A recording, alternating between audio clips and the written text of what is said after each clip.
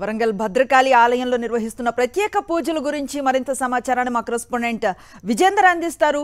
విజేందర్ ఎట్లాంటి ఉత్సాహం కనిపిస్తోంది స్థానికంగా? ఎలాంటి పూజలు నిర్వహిస్తూ ఉన్నారు? డీటెయిల్స్ ఏంటి?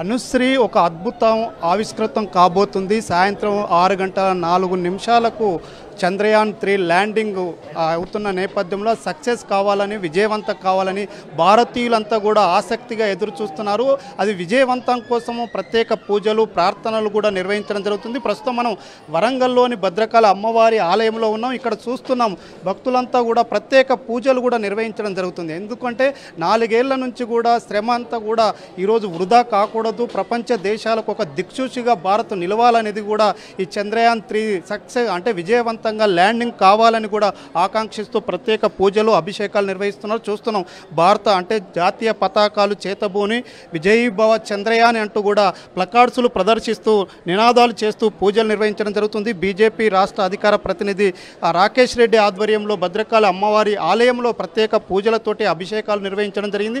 ఎందుకంటే ఈరోజు ప్రత్యేకత ఉంది. భారతదేశము ఒక ప్రపంచ దేశాలకు ఒక దిక్చూ దిక్చూచిగా మారబోతుంది. చంద్రయాన్ త్రీ సక్సెస్గా విజయవంతంగా ల్యాండింగ్ కావాలని కూడా కోరుకోవడం జరుగుతుంది. ఈ పూజల యొక్క ప్రత్యేకత వీరిని అడుగుతాను. చెప్పండి ఈరోజు చాలా ఆలయాల్లో కూడా ప్రత్యేక పూజలు నిర్వహిస్తారు. అమ్మవారిని కూడా వేడుకోవడం అంటే మానవ ప్రయత్నంతో పాటు దై- దైవ సంకల్పం కూడా కావాలి. మీరు ఏం కోరుకుంటున్నారో దేవుని ఏం కోరుకున్నారు? మా ఊరుగల్లు భద్రకాళి అమ్మవారు అత్యంత శక్తివంతమైనటువంటి అమ్మవారు.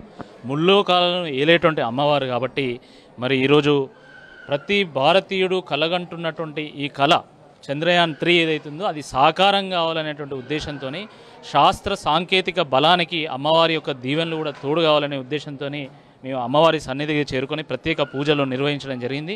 చంద్రయాన్ త్రీ విజయము ప్రతి భారతీయుడు విజయంగా భావించాలి. ఇది గొప్ప గర్వకారణంగా భావించాలి. ఎందుకంటే ఖగోళంలో ఉన్నటువంటి అనేక రహస్యాలను కనుక్కున్నటువంటి దేశం భారతదేశం.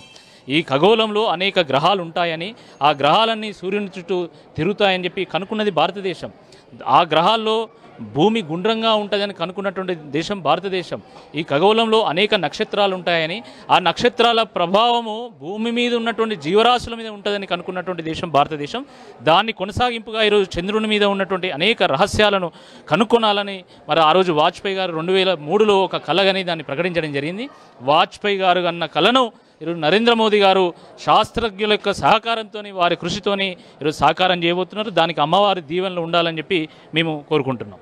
చూస్తున్నాం అంటే మానవ ప్రయత్నంతో పాటు దైవ సంకల్పం కూడా కావాలని చంద్రయాన్ త్రీ విజయవంతం కావాలని సేఫ్గా ల్యాండింగ్ కావాలని ప్రపంచ దేశాలకు కీర్తి కిట కీర్తి కిటంగా భారతదేశం ఒక దిక్సూచిగా నిలవాలనేది కూడా ప్రజలందరూ కోరుతున్నారు. ఈరోజు ఈ చంద్రయాన్ త్రీ ల్యాండింగ్ ప్రత్యక్షంగా చూసేందుకు కూడా ఇప్పటికే విద్యాసంస్థలో కానీ కానీ సైన్స్ సెంటర్లో కానీ ప్రత్యేకమైన ఏర్పాటు చేయడం జరిగింది. మొత్తానికైతే భారతీయులందరూ కూడా ఆసక్తిగా ఎదురు చూసే పరిస్థితులు కనిపిస్తున్నాయి Anushree. Right thank you Vijender అనుకుని అవాంతరాలు తలెత్తినా ల్యాండర్ విజయవంతంగా చంద్రుడిపై దిగేలా కసరత్తును చేపట్టింది ఇస్రో. సెన్సార్ ఇంజన్ ఆల్గోరిథం గణన ఇలా అనేక అంశాల్లో వైఫల్యాలకు ఉన్న అవకాశాలను పరిగణలోకి తీసుకుంది. వాటిని అప్పటికప్పుడు సమర్థవంతంగా ఎదుర్కొనేలా అన్ని వ్యవస్థలను ప్రోగ్రామ్ చేసింది. చంద్రయాన్ త్రీలో అన్ని సెన్సార్లు పనిచేయకపోయినా నాలుగింట్లో రెండు ఇంజన్లు విఫలమైన సాఫ్ట్ ల్యాండ్ అయ్యేలా తీర్చిదిద్దారు శాస్త్రవేత్తలు. అందుకే ఈసారి విజయంపై ధీమాగా ఉన్నారు. శృతి